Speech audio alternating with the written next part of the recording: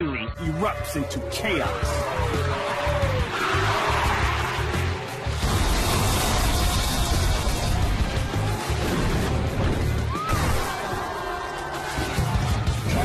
Two bikes down. Got another one down as well. Bikes going up everywhere. This is mayhem. Red flag, now, red flag this race. That is absolutely extraordinary. Bikes flying all over the place, just missing people. The engine on the number 91 bike catches fire. Rider Christian Kellner goes down. Number 91, Kellner's engine exploded, leaving oil all over the circuit going into the chicane. Unfortunately, lots of other riders hit this. Bikes everywhere, flames and oil. The race stopped. As Kellner slams into the foam barrier, a flying motorcycle grazes his head.